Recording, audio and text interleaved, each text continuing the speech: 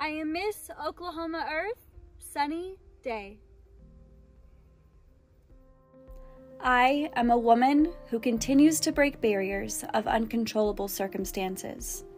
Being brought up in an environment of poverty and childhood trauma, I was inspired at a young age to begin breaking cycles, and starting in 2017, I became my family's first high school and college graduate with a bachelor's degree in communications from the University of Oklahoma.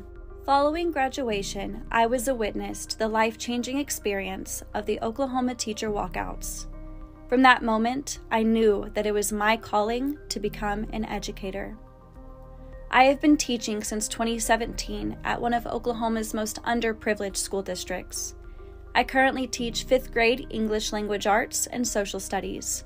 Previously, I have taught sixth grade English and served as our school site ESL teacher. In 2020, I was honored with the title of Teacher of the Year.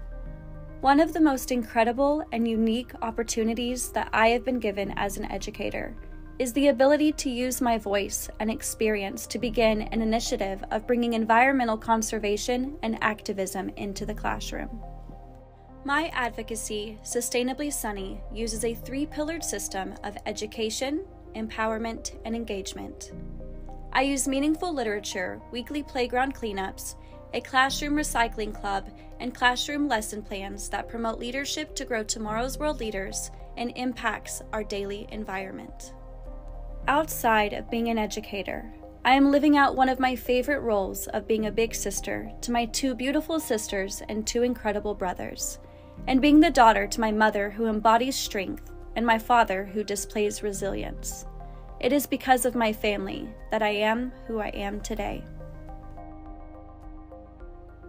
I am a dreamer, and I am chasing the opportunity of becoming the next Miss Earth USA because this title simultaneously aligns with every single thing that I implement in my daily life education, mentorship, service, and awareness.